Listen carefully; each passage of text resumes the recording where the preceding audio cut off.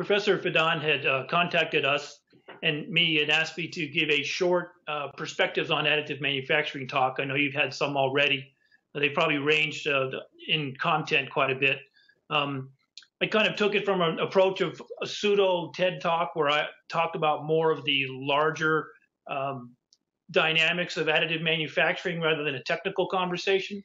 So uh, let's take it from there. My name is Tim Caffrey.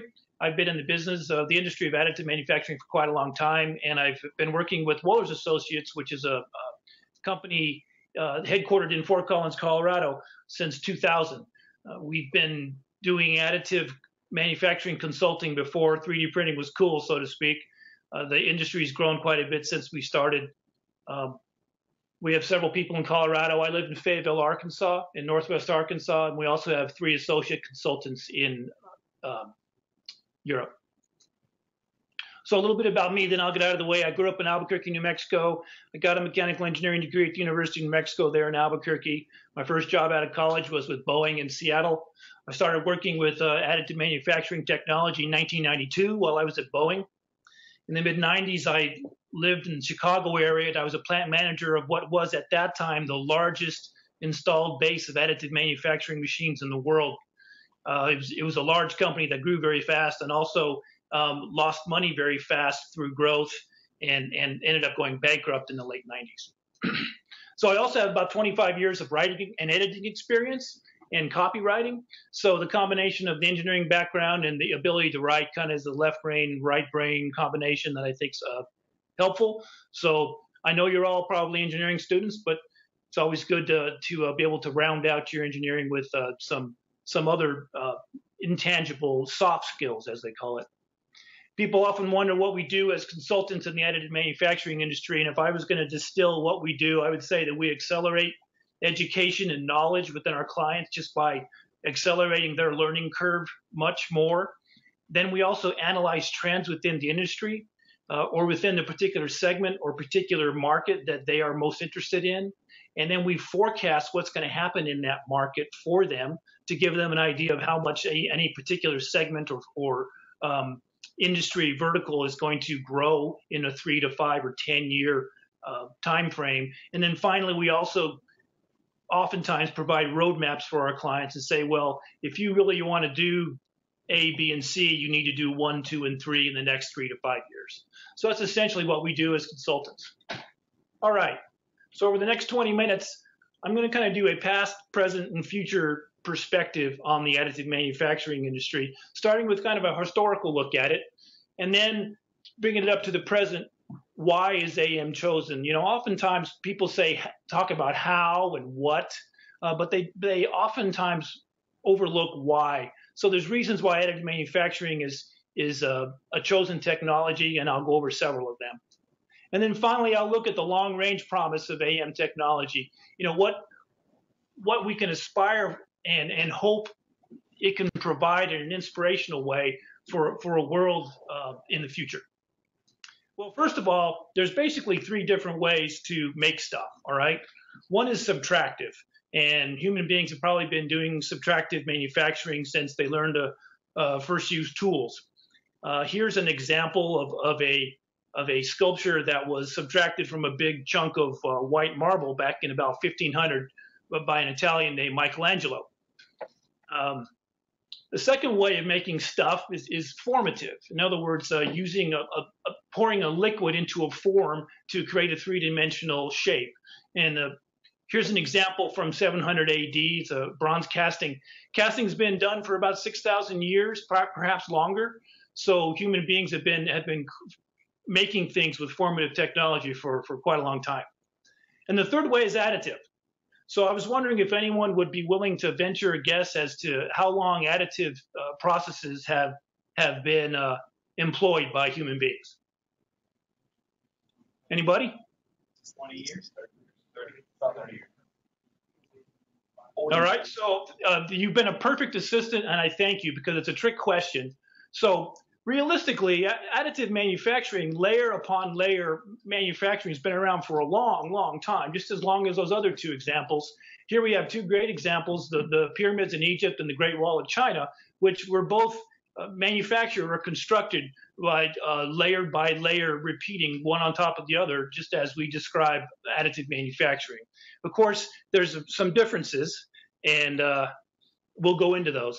But if we look at construction world, we see quite a bit of layered additive manufacturing where you have courses of rocks or stones or adobe blocks, even igloos, um, bricks. You see that in architecture where a story of a high-rise building is essentially a repeated layer over and over again, and a, the pagoda on the left. You see it even in um, uh, agriculture where people take a mountain and they and they cut they cut it until into a, a whole bunch of level terraces and then finally, even in food, where you have a stack of pancakes or a seven layered cake or the perfectly constructed Dagwood sandwich. So uh, layered manufacturing has been around for a long time. Of course, there's big differences, and we know it.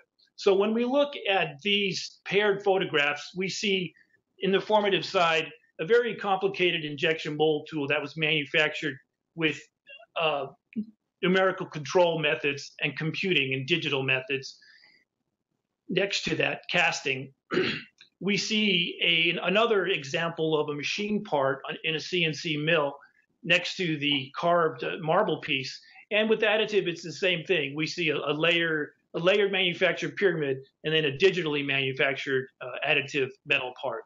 So, what are the big differences between these two pairs of photographs, and and what is really going on with with manufacturing that that makes the two different pairs so different? Well, it's because over the last 100 to 50 to 100 years, there's been some amazing uh, enabling technologies that have developed. You know, um, I have a brother who's six years older than me, and he's a mechanical engineer as well. And he had to learn how to use a slide rule because at the time when he entered college and started studying engineering, we didn't have handheld calculators. Now, six years later, I did not have to learn how to use a slide rule. But we're talking about the uh, mid 70s here. Okay, we're not talking about a long time ago. We're talking about one generation. But in a very short period of time, we went from vacuum tubes to transistors to printed circuit boards to uh, microchips, and then finally to silicon wafers that hold a whole bunch of microchips. Amazing computing power. And of course, that's led us to the ability to have handheld calculators and very powerful CAD workstations and supercomputers that can do incredible things. And all, and all of this is developed, of course, uh, over the course of my lifetime. Another enabling technology is the ability to create uh, virtual reality and create solid models or watertight volumes using CAD software. Now, when I first started working at Boeing, there wasn't any CAD software.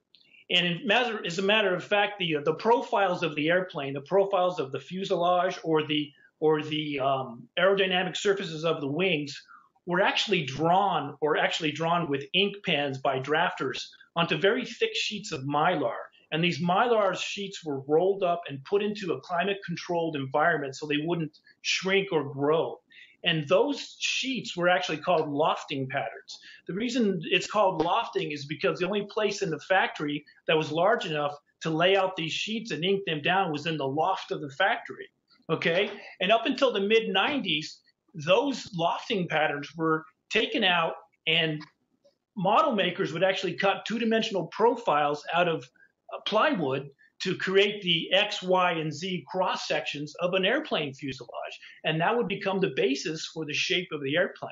It wasn't until the, the early and mid 90s when solid modeling was really implemented in the aviation world and in the automotive industries because those two industries had enough money to actually invest in the large mainframe computers and also the very expensive uh, workstations. Of course, now the software, the workstations, and the computing power is ex- much less expensive than it used to be, and it democratizes the ability to create solid models. And of course, solid models and watertight volumes are, are a critical need uh, to get to an additive manufactured part. Other enabling technologies include lasers and optics, motion control systems, and the dispensing systems such as inkjet, inkjetting, and the materials that are used that have all been developed in the last uh, 30 to 40 years. Finally, we have metrology and scanning systems from from digital-based uh, touch probe systems to handheld 3D scanners, even the photo booths that have all of a sudden become much more prevalent. I was at a, a conference this uh, past fall in Germany, and on the exhibition floor there was there was five or six of these full-size photo booths where a person or persons walk into the photo booth, stand still for a second, and there's an array of digital cameras that snap all at the same time, say 70 cameras in a circular array around the subject, and they can then create a you know three-dimensional data set and print that using a 3D printer. The uh, digital, um, excuse me, the dentistry industry has, has gone digital almost entirely, or certainly progressed in that direction. And what we see in this image on the upper right is a, uh, a cone beam CT scanner which are very affordable so that, you know, dentists can purchase them now. And instead of doing the uh, physical impression of your teeth that what we used to have in the old days, you're getting an intraoral scanner where you're getting a scan impression of your mouth and then digital dentistry just kind of falls off from there. Same thing on the lower right. This is a, uh, a cross section of a MRI system. So we can get medical scan data of soft tissue of uh, human patients that can then be taken into the digital space where custom prosthetics and, and custom uh, uh, dental implants can then be developed. I'd like to think of 3D scanning and 3D printing as two sides of the same coin, and it's a digital coin, right? So really, when we when we talk about all these enabling technologies and the fact that formative, subtractive, and additive technologies all have these things in common, it's it's kind of hard to say that additive manufacturing is the is the uh, of the revolution revolutionary manufacturing technology of the modern day. It's probably better to include more than just additive. So so people often use the uh, expression advanced manufacturing, which I think is closer to the truth. But I think even even a closer um, term is digital manufacturing. So what's really happening is we're having a, a, revolution in manufacturing, and it's because it's a digital manufacturing. And of course, additive manufacturing is, is probably the uh, uh, the poster child of digital manufacturing because it's so new and so novel and and so sexy that that the uh, mainstream press and a lot of people really like talking about it. All right, how's everybody doing? I'm to shift gears here a little bit. So why is additive manufacturing being used? You know, uh, companies don't use additive manufacturing unless there's really a reason for it. And the reason is almost 99% of the time economic. In other words, if they, if they can make something cheaper that has the same value and the same uh, functionality some other way, they will. But uh, if additive has an advantage, an inherent advantage by delivering more value or in being less expensive or some other reasons, um, then they'll probably use additive. So let's talk about why additive is being used.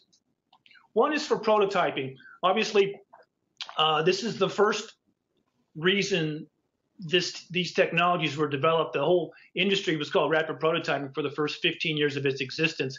But oftentimes these days it's overlooked. You know, prototyping different models and such still represents a, a very large amount of this industry, perhaps as much as 50%. So with prototyping, you can do rapid design iteration. You can you can print a design overnight, come back the next day, check interferences, check how it looks against the mating parts, feel it in your hand, realize what you need to change, throw it in the garbage, and then start again and make the modifications. So you can do very rapid design iterations. You don't want to fall in love with your babies. You want to throw them away and move on to the next thing so that by the time you've reached the point where your design is complete, it's a much more mature, uh, superior design by using these accelerated design cycles.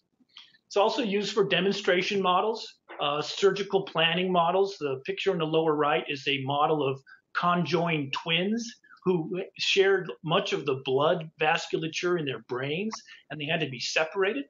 And this was a model that the surgical team studied prior to the surgery. So you've heard that you know a picture is worth a thousand words, where a third, well a three-dimensional model is worth a, a thousand drawings. So once you can hold something in your hand or visualize something, it's so much easier to communicate with your team, with your sales team, with your prospective clients, and, and move onward. Then, of course, there's functional prototyping where you make the part using additive, using uh, materials that are close to or equal to in functional properties the final material so you can actually test it uh, for thermal or cycling or other types of loading.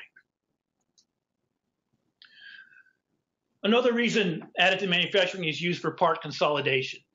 This this example is from NASA. It is a uh, in, inject injector for a rocket nozzle, and what they did with additive is they consolidated 115 different parts into two parts. So you can take many simple parts that are joined together and redesign a part so that the entire assembly is a single part that doesn't require that assembly and all those fasteners. Another example comes from GE Aviation. This is the uh, fuel nozzle for the LEAP engine. There's 19 on each engine. This is a basically a fuel injector, if you will. It mixes uh, jet fuel with air and atomizes it and injects it into the combustion chamber of the engine. Uh, this this part looks simple on the outside, but all of the elegance of this part is on the inside. The way the flow paths are developed, and this is a part that took 10 years to develop. But prior to this part was being developed, it used to be a combination of 18 to 20 different parts that were welded or brazed together. You can just imagine how much work went into that and how much how many opportunities for failure uh, that were involved with that. So by consolidating all those parts, you get quite a bit of advantage. You get a, you get a lighter weight part, you get a part that's more durable, and you get a part that's more efficient in this case. So what does part consolidation do? Here's another example from, from Boeing, from, from actually started in my days when I worked there. All of the environmental control system ducting on many of the Boeing airplanes, both commercial and um, military, uh, is now made with laser sintered nylon. So this part on the right is a, is a laser sintered nylon part that's built all in one piece. And you can see that it has the interior baffles that split the, uh, the air section and, and open areas as well. The old design was made up of many different detail parts that had to be manufactured separately, kept in inventory separately, and then assembled together in assembly operations that involved not only assembly but also inspection and inspection paperwork. So by deleting or by um, eliminating all these different parts and different operations, you get to a single part that's complex, which eliminates a tremendous amount of um, additional costs related to those assembly lines, storage, inventory, etc. The third way additive manufacturing is being used is for weight reduction. This is particularly true in the aerospace industry. Uh, topology optimization is a uh, computer algorithm, which you've probably heard about, but it, it's basically letting computing decide where to put the mass of, of a part and resulting in the least mass possible for a given loading and stiffness and, and uh, uh, condition requirements. So the part you see here in the upper left is the old bracket from, a, from an Airbus uh, door hinge, and the part in the lower left is a topology optimized part. So topology optimization has been around for a little while, but it was more of a academic exercise because once the topology optimized geometry had been defined, it was still impossible to manufacture using conventional techniques. With additive manufacturing, it's possible to make that very bionic uh, part, that geometry that mimics uh, nature quite a bit in its in its shape and in its uh, loading. Another way to reduce weight is to use lattice structures or mesh, mesh structures in the solid area of a part. So instead of having a solid part, you have a skin, and inside the skin you have a mesh, as you see in the metal part in the lower left there. Uh, this is again uh, results in a part that is just as stiff and just as strong, but considerably lighter. And as I mentioned, the aerospace industry is is the primary beneficiary of weight reduction. Perhaps the whole transportation industry benefits some, but particularly uh, for airplanes. So, you know, over the course of an airplane's life, if, when you eliminate 100 kilograms of, of uh, weight from an airplane, you save a tremendous amount of money every year. Now, this is this particular number, 2.5 million dollars, is based on short haul airplanes, and it was from a couple years ago when the when the uh, price of jet fuel was probably quite different. So it may not be exact, but needless to say, over the course of, of, of, an airplane's life, and some of these airplanes have been flying, you know, there are 727s that are flying in South America that have, that have been flying for 50 years, and they're still flying. And, and some of these airplanes, you know, do four or five legs a day. So it's an amazing amount of uh, um, fuel savings related to weight reduction. Another reason to use additive manufacturing is waste reduction. So I don't know if you've ever heard of the expression buy to fly ratio, but it's a, it's an expression used in aerospace that compares the amount of material you have you start with compared to the amount of material you end up with. So this particular part you see in the lower left is a bracket for the uh, um, hot side of, of the uh, Joint Strike Fighter. And it is conventionally machined with conventional means from a solid block of titanium. The buy to fly ratio for this part is 33 to 1. So you start with a big block of material and you machine 32, 30 seconds of that material away, and all those scraps fall on the floor. And then you end up with your part, right? So additive manufacturing gives us near net shape parts that are nearly one to one in their buy to fly ratio. And that's exactly what happened with this particular part. It was made by additive manufacturing. Here's an example of an Airbus bracket that's also hogged out of a solid block of uh, aluminum alloy. There's a one euro coin sitting on the top of that block just to give you an, a feeling for the scale. Uh, this part was instead redesigned using topology optimization and made in a metal additive manufacturing powder bed fusion machine uh, out of titanium, and it reduced its weight by over 50%. Same functionality, same stiffness, same loading. So waste reduction.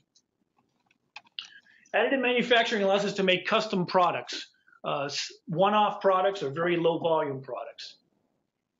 consumer goods is one example. Here's a tray full of wax-like um, patterns for jewelry that will be investment cast in precious metals. Another example is custom medical and dental devices from patient scan data. As I mentioned previously when we were on the 3D scanning slide, um, the the small image in the middle is a crown, and if you look where the blue arrow is, you see the metal substructure of the of the crown, which is called a coping. Now, these copings are manufactured from scan data in additive manufacturing machines. You see them on the on the uh, right there with the support structures. EOS, the, the company that makes metal powder bed fusion systems, um, reports that they're making about 20,000 copings per day in additive machines. So to say that the dental and the orthodontic and, and uh, uh, industry has, has gone digital it, is a very true statement, uh, especially in Europe, and, and it's coming to America. You know, another reason additive is used because it has unique capabilities to be able to make parts that are so complex they probably couldn't be made any other way. And if they could, they would be prohibitively expensive. These are a couple examples of lighting fixtures. I, I don't know how well you can see them, but they're incredibly complex. And they certainly couldn't be made in one piece. To argue that they could be made any other way, I, I guess you could, but you'd be assembling a lot of different uh, individual parts, and it would it would be incredibly expensive. Additive offers some unique capabilities. This is a hip cup manufactured on an Arcam electron beam melting machine. Now, the reason these hip cups are made, uh, it's, it's an orthopedic implant. The reason they're made using additive manufacturing is because with additive, you're able to make these very rough and porous exterior surfaces you see on this on this part. It's called a trabecular surface. The reason the reason for the trabecular surface is so that you get osseointegration. After this implant is is uh, implanted into a patient, it promotes bone growth and and it fixes the bone as it grows around the implant fixes to the implant and it stays there much better than a smooth part. So prior to additive the, the manufacturers of these implants used to have to do a secondary process a chemical etching process that roughed up that surface to promote osseointegration with additive you can do this trabecular surface right out of the machine and you don't you can completely skip the secondary process thus saving a lot of money. So it's actually less expensive to make a superior part using additive than the way these, these parts were made conventionally prior. All right, so that's a quick tour of, of the reasons why additive is being used. Now I want to kind of take you on a, on a personal journey, if you will. talking about the promise of additive manufacturing. So in the 1990s, when I was was uh, first in this industry and and very much involved and very much engaged, we used to call it rapid prototyping. And rapid prototyping was a way of designing parts faster and getting parts, uh, reducing the cycle time of products, which actually got more products out into the market in a much faster time. One of our largest clients in, in the Chicago area was Motorola, for example. And at that time, the flip phones were coming out. And there was a new generation of flip phone being introduced every three to four months by every single one of the major manufacturers. So you know, you no sooner had bought a, a, a, smartphone. Well, they weren't even smartphones then, were they? You had no sooner bought a handheld phone than it was obsolete a couple months later. So, so what we, we ended up having, we, we saw increased consumption, we saw more wasted products, and we saw an increase in planned obsolescence of products. And it was a little bit discouraging for me because I didn't necessarily see how additive was really going to make you know the world a better place. I live I live here in Northwest Arkansas, which is Walmart country. So um, I kind of describe this phenomenon a little bit as the Walmartization of, of commerce, where you make a whole bunch of really cheap stuff. You stack it deep and you sell it cheap, right? So there was a lot of offshoring, a lot of a lot of manufacturing went to China, obviously, and we're talking about just um, not very good global resource management. Let's put it that way, right? Well, today, uh, I think things have changed. I think things have, have improved quite a bit in terms of what additive manufacturing uh, has to promise. Uh, we call it additive manufacturing now, or 3D printing. And what it, what it allows to, us to do with, with the ability of um, design iteration and simultaneous design iterations where you can have more than one team working on a, on a product and developing it and then selecting, down selecting to the uh, superior product toward the end, you end up with much more mature and sophisticated product designs that have fewer tool modifications, fewer engineering changes once once a part is uh, put out into the marketplace, and fewer product recalls because these these are fully matured, well-designed parts. So that leads to reduced waste and it also re- leads to uh, reduction in, in obsolescence of products because the products aren't junk. They're not something that's going to be replaced by something better in the short term. Uh, hopefully, they're products that are going to last long and the consumer can get a full value out of those products. It also leads to uh, additive allows us to lead to a more distributed on-demand manufacturing, where instead of having to s- set up a tool that costs $150,000 and injecting 200,000 parts to even justify that capital cost of the tool, and then warehousing all those parts and hoping that they're going to get sold somewhere, and then trucking them all the way across the country to distribution points. You actually have the ability to build parts and build products and create products as they're needed and no faster. You don't have to tie them up in inventory. And you can also build them in a distributed network of manufacturing facilities. And finally, what we've got is a democratized opportunity. You know, it, it was very difficult for um, people with limited budgets to break into manufacturing 20 years ago because it was so expensive from a capital cost standpoint to actually go into production of products. Now with additive, you can actually go into a very limited production run of a variety of different products, figure out without putting out a huge amount of capital on tooling, then figure out what product, if any, is the most popular, and then start to produce those and maybe even tool for that product if, if it makes sense. And the products that aren't successful, you can just stop making them. You don't waste a huge amount of uh, inventory, you don't waste a huge amount of capital, and you don't tie up all that capital in uh, in tooling and and uh, inventory. So that's where we are today. So so how do I see the future uh, of, of additive manufacturing and, and indeed digital manufacturing in general. I think that hopefully in the future we'll see better, smarter, longer lasting products that are made using sustainable, low waste, and low energy consumption methods. So uh, in, in a resource starved world, which, which, you know, is becoming increasingly obvious that that's the case, um, this will be an aid uh, for us to move forward into the latter half of this century. So anyway, those are just some of my thoughts. Um, if you walk away with anything, think of AM as part of the digital manufacturing revolution. It's not going to replace conventional manufacturing. It's going to coexist in the factory of the future with other digital manufacturing techniques that have been around just as long. And the reason that these techniques have come so far is because there's been so many enabling technologies that have developed in the last 50 to 100 years computing power software and then other things like lasers and scanning and other high-tech developments AM is used because it, it is great for prototyping and product design, for part consolidation, for weight and waste reduction, and for complex and custom parts. And finally, the promise of AM technology is better products in a resource-starved future. And that wraps it up. So I don't know if we have any time for uh, any questions and answers, um, but I'd be happy to take some. Thank you.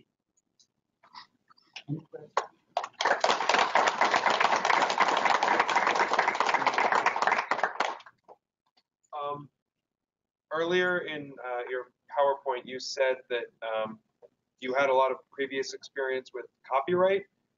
Is there any risk of um, the new additive technologies creating any, uh, making it easier for people to infringe on others' copyrights by just printing off a part instead of buying one? Is that a risk at all? Well, first of all, um, I have to clear up copywriting is actually a term used in marketing and um, advertising for someone who writes. so it's two different kinds of copywriting we're talking about here. Um, but I, I, can still um, consider your question. Yeah, certainly there's there's um, an issue with copyright. There hasn't been a precedent established in the courts yet uh, that lawyers can say, well, this is this is the actual precedent. This is the way it's going to be. Um, designs can still be copyrighted. Um, and copyrights can always be infringed as, as they are all the time. So uh, with a proper uh, patent portfolio, for example, or, or copyright of a part, there's no reason why the existing copyright laws can't be applied to the digital world and um, successfully applied. But I think that that exercise of running through the entire court system to prove that hasn't happened yet. So um, I've been waiting for that to happen over the last several years because that question comes up, and we say, well, there's probably going to be some kind of a lit- litigation that's going to occur in the not too distant future that will help us to sort all this out, but but it hasn't happened yet. Any other questions? Thank you.